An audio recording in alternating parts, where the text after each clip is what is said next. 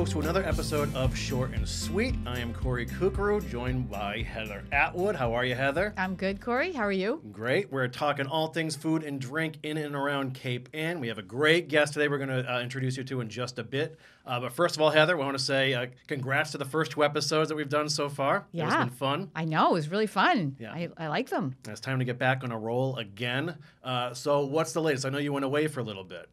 I went to Michigan for six days. Uh, my daughter's a student at the University of Michigan in Ann Arbor. The weather was just as miserable out there. Oh, I really? can tell you that. I wasn't. I didn't win. There was Yeah. no win in the weather department. And did you do any special Michigan eating while you were out there? I did. I did. For real? And uh, yeah, and actually we ate a lot because we worked so hard during the day. We were packing up her apartment and cleaning out her apartment, and then she's in ROTC, so she had drill. That my poor daughter was working really hard. She needed a good meal every night. Oh, And I made sure she had one. Yeah.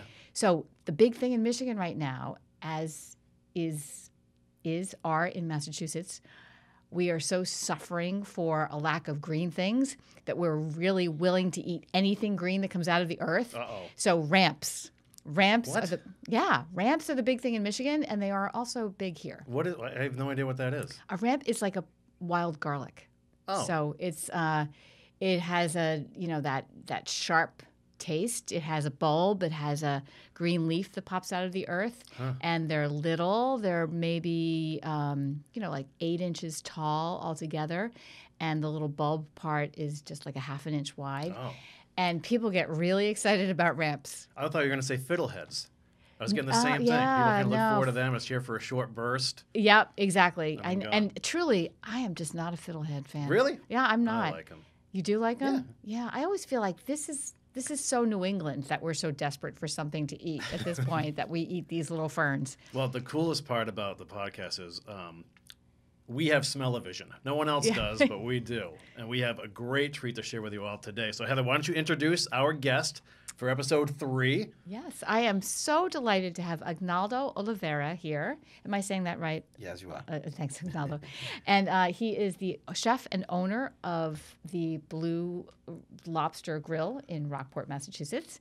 And we talked a couple of years ago about this really interesting dish that you are going to introduce today. But first of all, Agnaldo, I'd like to just talk a little bit about you. Give, can you tell us, you know, where you grew up and what your sort of what your story is?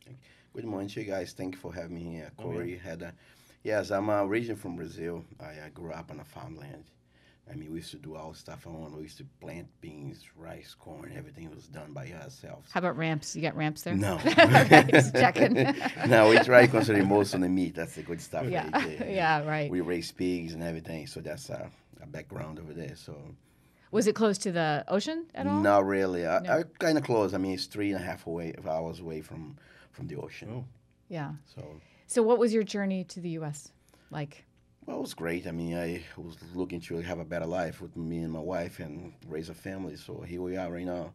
So things are working out great for us. So, the, and the rest of your family is back in Brazil? Uh, my mom is in Brazil. My father passed like three, four years ago. Mm. My sister is in Portugal. She's been there for about 20 years. Mm-hmm. She raised, she has a family over there. She has three kids over there. Well, How, how often do you get back home? Uh, I try to go every year. I mean, last time I've been there was like Mother's Day last year. So it's been about a year. Mm. Nice. So, and how did you find your way to Rockport? I uh when I when I came to the United States, my cousin used to live in Rockport, so he was uh, he was here for quite quite for quite some time already. So I stayed in Rockport for just two days, and moved to Framingham. Stayed in Framingham for I think six months, and moved back to Rockport. It's been about 19 years now Yes. since I've yes. been in Rockport. So and you had kind of a significant job when you started to work in Rockport, right? yes, yes, I started uh, as a dishwasher at the Greenery back in the days in 2001. The greenery. The Greenery said. Creamery, yeah. right? The Green, yes, Yeah. correct. Yeah. I worked there for nine years. I started as a dishwasher, no speak, no English speaking, anything, and worked my way up there to become a cook. That's amazing. That's just like so much the American story, right? Yeah, and how are you? So, how do you learn the language? Just, from being around? Just being around, walking around. I mean, I was everywhere I went. I had to have someone to translate for me. So I just got. to I'm like, you know what? I don't want to be doing that anymore. So I shut down all the Portuguese language for me. Like I have no t- no Brazilian TVs in my house. Yeah. nothing like that. Only watching uh, American channels, like the Friend Friends show. I used to watch it like a lot and put the uh, caption on it. So anything that happens over there, I'm watching, and we'll go back on the words and try to find out what that means, and and also being around a lot of Americans on the job, and so you have to translate Joey. yes, Which is From. Friends, exactly. That's really funny. yeah, so that's how I learned and start reading like all the uh, all the recipes that I have they had in the books over there. I try reading and start learning that, and and two years later, I was one of the guys behind the line. That's amazing. I have to tell you my really quick food story about um, working in the kitchen in Boston years ago, and there were a lot of Brazilians in the kitchen. Um, you know, just like you, they had immigrated here. They didn't speak English, but we started to speak like them, and we started. Everyone in the restaurant started instead of using the word food, we started calling it fooch. Because they have that, that extra chush it, in yeah. there. So it w- when we had our staff meal, it was called fooch. That's great. Yeah. So now, how does this turn into? You're at the greenery, right? How young are you when when, when you get here? I think it's like 22, 23. Right, and then so now you work your way up. Now you're you're in the line, and then at what point do you get this transition where it's it's you're a chef, and then eventually owning your own place? Well, I started like the uh, the restaurant closed down, the Greenery. Mhm. It was I went from the Greenery, and then became a Seychelles. I don't know if you guys remember that, but it was Yeah. Briefly, one right. short season, one season, and came to a point that I told my my boss I, I couldn't stick around anymore, so I left and uh, worked someplace else. And meanwhile, I got a, my green card. That I was waiting for ten years, Mm. and I traveled back to Brazil for like a couple months. When I came back. I uh, work in a couple different different restaurants, and I, I called the owner of the, of the building, like, what's the chance of me getting there? Try to get that place going. So to he gave me- purchase it. You wanted to buy it. yeah. Wow. So how cool is this? So you started the greenery, and then just a few short years later, you have your own spot at. If you don't know, we're at 15 Dock Square in Rockport now, as where Blue Lobster Grille is, and you can't beat the real estate. That's a pretty cool story. Yeah, it really is. That's legit American dream stuff right there. Yeah. Yeah, that's correct. So I started out in base like we opened May 19th of 2011. Mm. We opened the uh, Blue Lobster Grille, Yeah. and it's, we've been there for like what? That's my eighth, ninth season right, now. So Yeah, I Well, mean so- that alone, even if you're not a relatively recent immigrant, to have a successful business in Rockport for eight or nine years, That's go saying you. something. yeah. I know, especially in this industry too.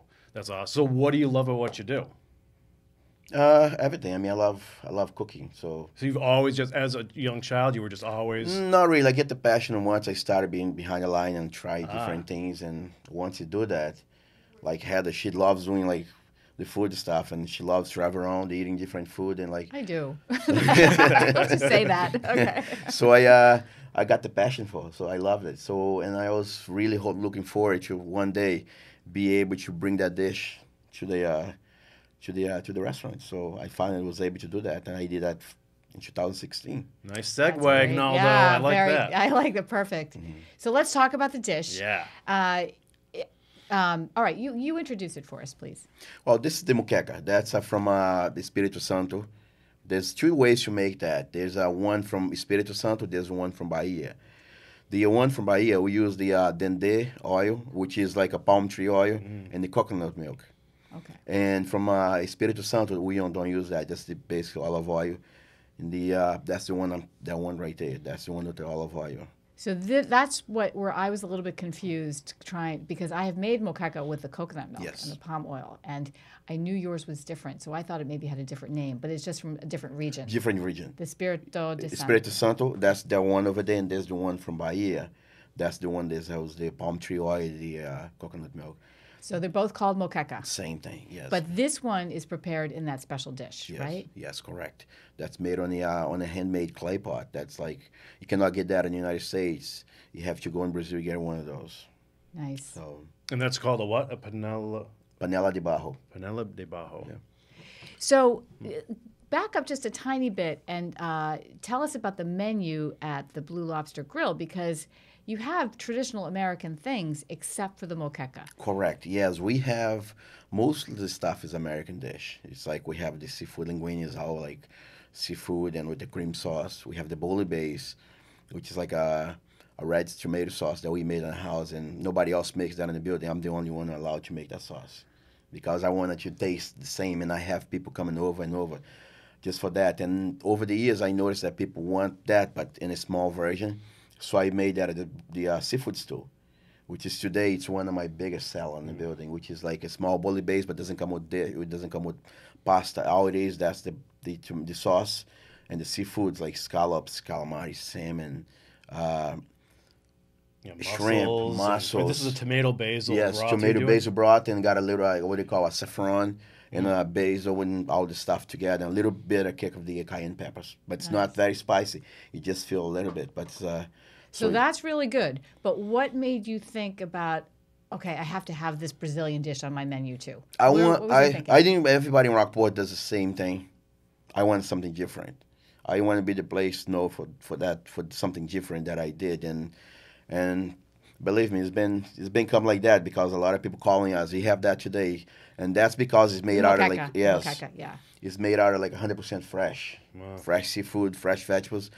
I don't keep that in the wintertime because I want to make sure that everything is fresh in there. So like I've been got people calling in to see, okay, you have that today. So I'm like, yes, we do. So from now on, we got to start doing that daily. So that's Well, I used to say it was the best thing to eat in Rockport when I the first time I tried it. It is delicious, and it's served piping hot, right? Yes, it's it- served in this clay it pot. goes straight from the uh, stove top to the table. So that's why I have that little stand because when I first started, I put on a plate. It was burning my plates. On my Oh, white really? plate was getting like black on the bottom because of the heat, too much heat on it. So I, I had someone in Brazil made those stands for me. nice. So now they go to the table like that. So it comes boiling. So is there fish in this? That one's the fish one, Okay. And what kind of fish do you use? a haddock. and is it because is haddock a more firm fish when you use it in stews and It's, soups? it's, it's firm and also there's like no bones on it. In Brazil, you they use uh, they was a cação, which is like I, I think in the version American version would be like almost like the uh, the dogfish. Oh, yeah. Yeah. But also just that. another white fish Yes. too. Yeah. And they use that over there, but in here, like because the bones, that one, the haddock doesn't have a lot of bones on it, so I choose that fish because that's more like flaking and, and cooks perfect. And then once you cook it, you can see the fish right into it. So So we are going to lift the lid eventually, but not yet. So can you tell us what's different about mo- this this moqueca as opposed to seafood stew? What's different? the seafood stew is made with a with a white sauce, right? And we uh, with the, I'm sorry, the red sauce, which is tomato, Tomatoes. tomatoes, Tomato tomato, based, on yeah. it. And uh, we made that sauce. We made that ahead, and once we get the order from from that, we put the f- seafood in it, cook the seafood first, and then add the sauce to it. And this one, we with there's tomatoes, cilantro, uh, green onions. So you cook, you put that in together with the garlic and put the fish on. Season the fish with lime, with a little bit of lime juice, salt, pepper, and put it in and cook together. So that one steams out together. So you get the broth. There's no water added to it. The broth you get in there is exactly from the tomatoes and from the fish itself and all the vegetables cooking. So don't there's no add, nothing add to that. What is it about the clay pot? That's a tradition, and it helps. Like it, a presentation also cooks better in there. So Why is and why is that? I I could not tell that. That's how we are. They've been doing that for years over there. So, I mean, I decided to try to do that, and Oh, I it looks love really it. cool. Can you tell us a story about going to Brazil to get the clay pots? Yes, I can. Uh, actually, my wife, I, she uh, she was kind of she got a little sick for the uh, for for 2016. She got a, a morning. She got a very like concerned about that. It was pretty serious. So she decided to take a break for the summer. So she went over there for for 2016. She spent like three months in there. So I went with her.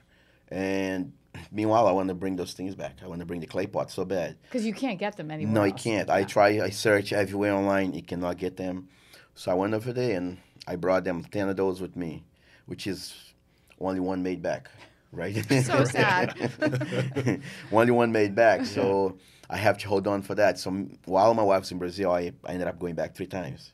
I mean, I never been away from my family. We've been together for a long time, and in the last 18 years, that was actually at the time was 16 years that we've been in the United States. We never separate from each other. I had my two kids. I had a right now is 11 year old and a six year old girl. Yeah. So, I mean, I kind of felt kind of lonely in my house. Being at work was fine, but once you get inside the house, house became so big. I'm like, you know what? I cannot be doing this for like three months. Oh, that's so so I took off a week, Yeah. and just a week, and like this time I did not bring anything in. And That's how my husband felt when I was in Michigan. yeah, it's it's. Keep telling yourself that. Yeah. so and then in uh, after Labor Day weekend, I traveled back to Brazil for two weeks. So that was kind of my vacation for two weeks, and so we we kind of set the way to like bring those in. My wife wrapped them around the blanket, and make sure they we brought in like a 10, 10 or twelve, and every single one of those made back at that time. Oh, there we go. Yes, they finally Alright, made back. So Is this one of them? actually it is. Oh, Yeah. All right. All right. Out of those, like those are bringing in, I think I have like six, six left. Yeah. Because over the, uh, it, you use them a lot, like in especially in summertime, I'm doing those over and over, Mm. and it's like they're gonna crack eventually. So they're doing that right now. So yeah. So you have to resupply. Yes. Yeah. So I, uh, when I had this dish in your restaurant, you lift that lid and it was like it was still boiling. Yes. It was it was so great because I love stews hot and things like that. Um, that won't be happening here. So, but I don't want to lift the lid yet. Before you tell us what the sauce is, what's going on with that sauce? that over there, that's uh, called uh, pirão. That over there is basically the same stuff that's in that pot. We cook them together, and then you add the uh, cassava flour, which is a root, which is we call in Brazil mandioca. So they like we shave them out and like you roast them and make a flour out of that. So Interesting. So you take some of the, the broth out of the pot, and then you add the cassava flour to thicken it a to little thicken bit. them out, Yeah. yes, So we're, you're really basically adding uh, more of the the flavors from this stew. correct, yes. So we're gonna serve and the rice. Anything special about the rice? Oh, it's just a regular rice that I make over there. Also, don't let anybody else but me and my wife make the rice because I like the rice firm. I don't like the rice like like a soup. The rice is gonna be like nice and firm. So, and uh, that's how I like to cook it. So, and that over there I have a garlic, onions, and uh, Sazón to give that color over there. Also has saffron on it. So that's how I, we make a I rice love over that there. Sazón stuff. Yeah. that's great. Well, I think. Are you ready to try it, Kory? Yeah. Okay. Let's so do I'm gonna jump up. Yeah. and So try while this- Heather gets that ready, I'll just say once again that thanks for joining us here on Short and Sweet with Heather Atwood. I'm Kory.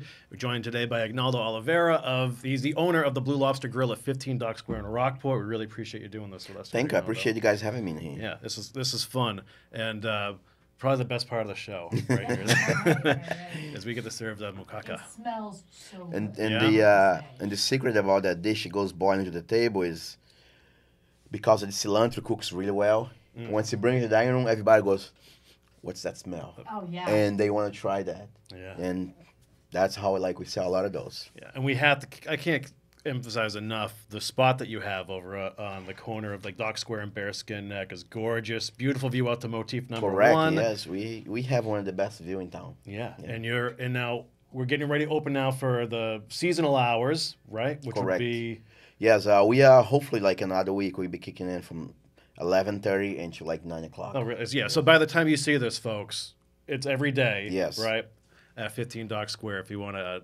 Can they try this out? Yeah, sure. Moqueca's on the menu, right? Uh, it's not on the regular menu, but it will be on a special menu Oh, daily. cool. So that uh, that doesn't come out of the menu. Okay. I was gonna say I do not know if you had like the uh, Blue Lobster Grille had like the secret menu.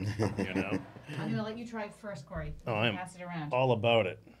So uh, I need to tell you, Agnaldo, that I had decided it was like the best single dish you could have in Rockport. But a friend of mine said the same thing, and he didn't even know that I had experienced this. He said, "Oh my gosh, we ate at the Blue Lobster Grille. It was amazing, and they have this fish stew." And he had brought out of town guests, so he was raving You, about it too. think that's that's the uh, that's my idea to come up bringing that over because everybody goes Rockport. What do you eat? Lobsters, fried clams, fried shrimp, and a couple di- pasta dishes that I make. But uh, my idea is to bring that in there. People coming in, they want to come over just for that dish. Yeah, I do, and it's made with local fish. You It's know, so it's still a good. local dish. You know, isn't that delicious? It's still it's absolutely awesome. Yeah. yeah. I think it blows away bouillabaisse, frankly, but Yeah. I could do that. The fish is but the I'm sure so bouillabaisse great. is great. It's really yeah. It just breaks apart.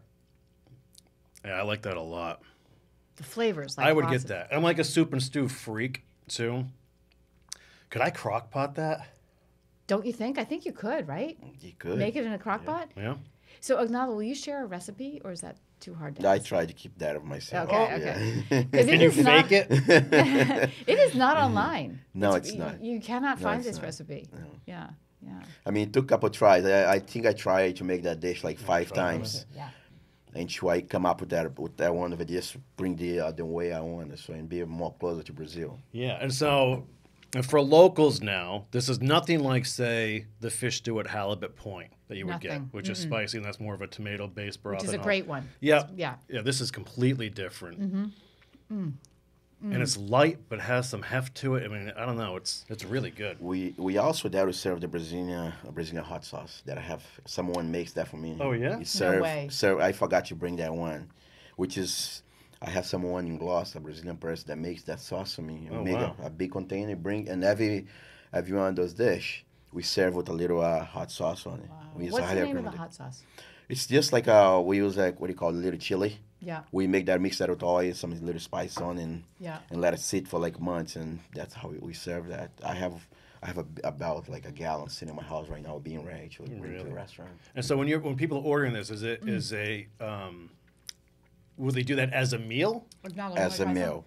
Sure Yeah, it's okay. yeah. I know the guy who cooks, so he probably did a good job. on trust that. Yeah, it's so light. And I the cilantro in there and the um, I can even get a little bit of the lime. It is so good. And this is your go-to dish when you're a Blue Lobster? Yes, definitely. Yeah, that's something. I'd love Yeah. that. yeah, I have. Uh, I had someone called yesterday. They called actually in January, look for reservation Mother's Day, asking if that's going to be on the uh, The menu. on the menu, and they called back yesterday just to make sure that was going to be the menu because there's a big group of six. They want to come in. That's what they want to get it. Yeah, no, I. It's really, it's just such a. Um, again, you don't feel like you're eating. You feel like you're eating local food, but with such a more interesting treatment. you know. The So, first thing I thought when I that first touched my lips was that's Gloucester haddock. yeah, That's local. Like you, it's new right off the. That's the haddock I have, and it was just in a just a little different way. different f- form. Exactly. Yeah. Yeah, it was awesome. I, I, I get that all the time. Right. Yeah, any yeah super stews I am all on board for. So I uh, I serve that. I have the uh, the regular one, the fish. Mm-hmm. I have the shrimp and fish. Oh. I have the shrimp one only, just shrimp, and I also have the seafood, which is come with shrimp, fish, scallops, and mussels. And also uh, this week I'll be doing the lobster one. Mussels. You said. Yes. Yeah. Yeah. And this one I And have one of straight up lobster, like one lobster. Whoa. So we'll be cooking like right into that. So is it lobster out of the shell? Obviously. No, we're gonna cook with the shell on it. In the pot. Yes. That's going to be That's great. a great visual. Yeah, that is really great. Yeah. So that's a new one. I haven't made one. I'm making like just to try out, but um, I mean they cannot go wrong with that. No, this is going to put you on the map, So- like internationally. Have you thought about uh, incorporating like more Brazilian dishes into the menu at Blue Lobster? Mm, Not really. I mean, at this moment, I want to stay with just with that Mm-hmm. because once you do that, you want like. I actually I get a lot of Brazilians coming over. I have people coming from Cambridge. They heard about it. Actually, there's another restaurant over there that serve that dish, but they heard about us. They came over and they loved it. And especially there's people from Peabody that comes over most Sunday. Like for now in the summertime, I'll be seeing a lot of them coming in. So, but. I'm this moment I want to So it makes it just those. special. Yes. Yeah. I want to keep just that dish for now. I don't want to do anything else. How about Brazilian desserts? Aren't there a lot of really interesting Brazilian desserts? Mm, The one very popular over there is the flan. Flan. Yes. Yeah, yeah right. And my wife makes one that's like.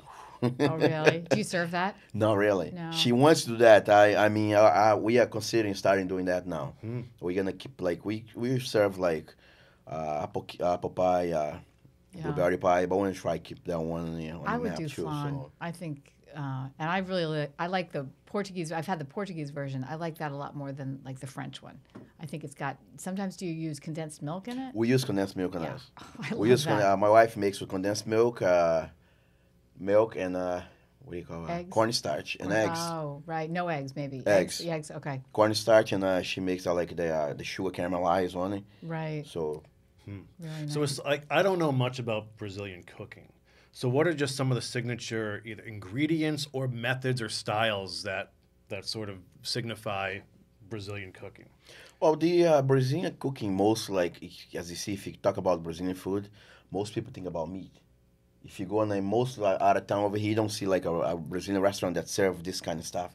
Most it goes from the we call churrasco, which is the uh, they serve that around the uh, on the skewer for you. What is it called again? Churrasco, Okay. which is like they cook that on the uh, on the on the uh, skewer, and they bring that to the table and slice that right in off the uh, skewer for you. So And that's it's beef. with beef. Yeah. They- I would do everything with beef. Uh, there's like a what do you call it? linguiça. We have the chicken wings, Mm. uh, chicken hearts, which is not big for a lot of people, but Brazilians love the chicken hearts. Let's do that next week, Heather. Yeah, Chicken hearts. so, uh, so both, but the seafood stuff is most concentrated just into that. which- So there's no much on the uh, Yeah. on the Brazilian stuff. But when they talk about Brazilian, people talk about mostly the churrasco. Right. Yeah. Yeah. So Interesting. Well, I'm glad I now have uh, moqueca in my vocabulary because Right? that was yeah that was an A plus. Yeah. I love yeah. that. yeah, but my bigger problem that I found when I first started serving that is getting my server to pronounce that. they couldn't. Even these days, some of them cannot pronounce the pirão, which is like Mm. stuff for them. So I'm like, okay, guys, if- if you want to serve this, you want to make sure that you know how Yeah, to, what right, you're talking right. about. Yeah. You So- could bottle that pirao. That's am I saying it right? Pirao. Pirão. Pirao. Yes. Um, that is so delicious. Thank love you. I that, appreciate too. that. Yes. Yeah. Yeah. Well, There you we have it. taught you something, right, Kory? Yeah, it's what we wanted out of the show. And I mean, the food's awesome. It's great. But you and I both know Agnaldo a little bit from over the years, so it's cool just to catch up, see where the Blue Lobster's at these days, hear your story. Like, it's a great story that you shared with us too. I mean, literally coming from Brazil, I think that's so awesome. Starting at the greenery and then eventually being there and doing your own thing. So hats off to you, man. yeah. Yeah, I mean, it's like a lot of work, but my wife and I do what we like. Like, we both of it did seven days a week right now. So, Wow. Yeah. So you know, at some point, Heather, we're gonna have to go there. And do Absolutely. one of these shows. Right? Because Yeah. we need to see the lid come off and the bubbling stew. Yeah, but we need might have to. We might need flan for that as well. and lobster. let me know. Yeah. Yeah. my wife makes the best, so I'll make sure that she makes some for you guys. So. Okay. Awesome. Actually, I might start thinking about putting that on the menu. So, You should put that on the menu. I, I mean, what a meal that would be. The moqueca with the flan later. Brazilian That's- way, right? yeah, exactly. Yeah. All right. Thanks, Agnaldo, for being here. thank you guys. I appreciate for Yeah, having people me. want to learn more about Agnaldo or the Blue Lobster Grille. You can just go to Blue Lobster Dash Grill, grill with an E Yes, dot com, Dot com, correct. or go see him at 15 Dock Square in Rockport. The place is awesome. So thanks again, Heather. That puts a bow on episode number three. All right. We're at, how we doing? so far, so good. Okay. Almost full though. We got to finish this. Yeah, I know, All right? right. See you soon. Thanks, All Agnaldo. right, thank you guys. I appreciate it.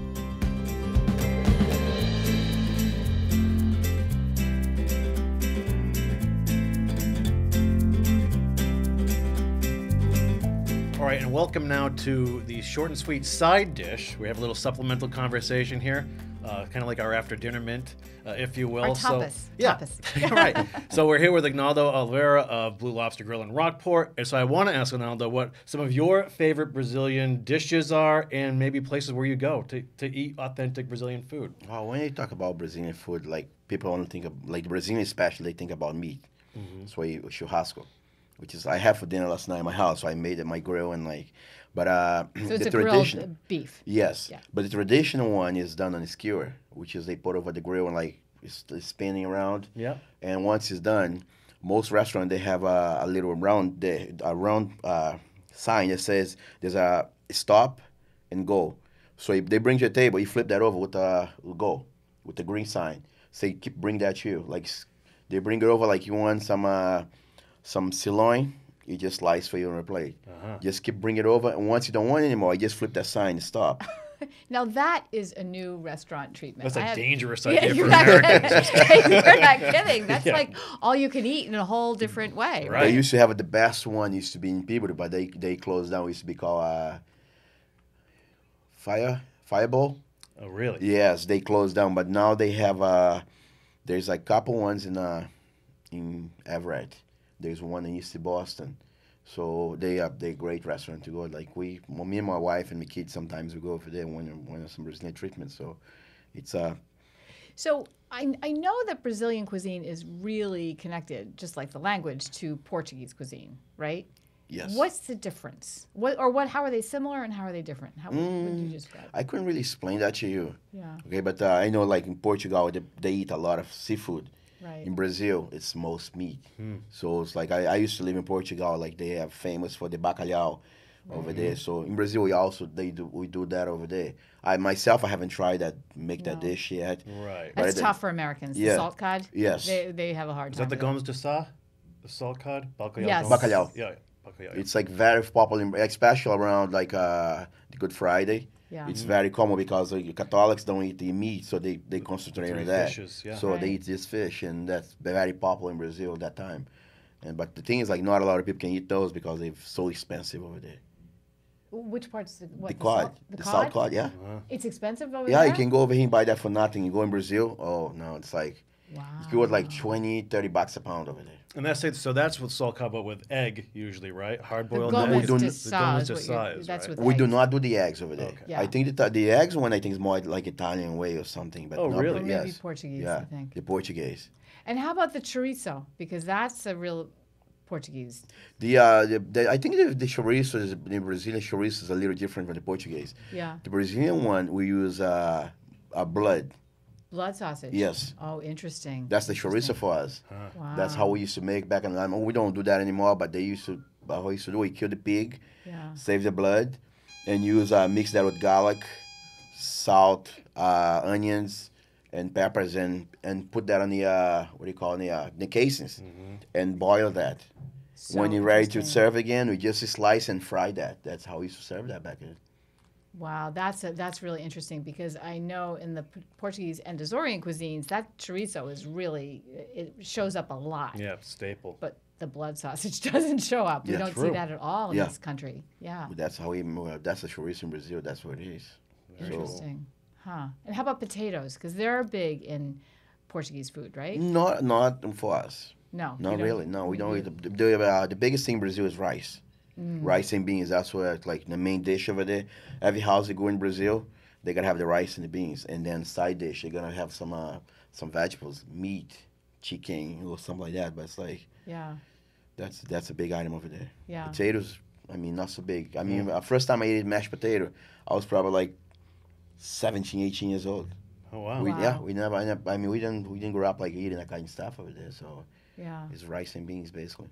And how about um, interesting peppers? I know, like Peru, in Peru, I think they use some, that ají pepper, which you don't see here so much. You we guys, you we use a malagueta, which is like a, a small one, but that little small one can do a lot of damage. so super hot. oh, they're super hot. Like we used to have that in the backyard. Like they uh once they're ready, like they're nice, right? Like the red flame color. So it's like it's ready. So they uh how we do it just let them sit in the oil. Oh. And uh, my mom, I actually I brought some. I still have that. I brought some back like from Brazil like six, seven years ago. My mother made and put in a little jar for me. I still have that at home, and that thing is like hot. Wow. It's really Wow. hot. Well, you've got a restaurant to run, and we've got some moqueca to finish. Yeah, right, exactly. Thanks again, Agnaldo. Thank you guys. See you for next time me. on Short and Sweet.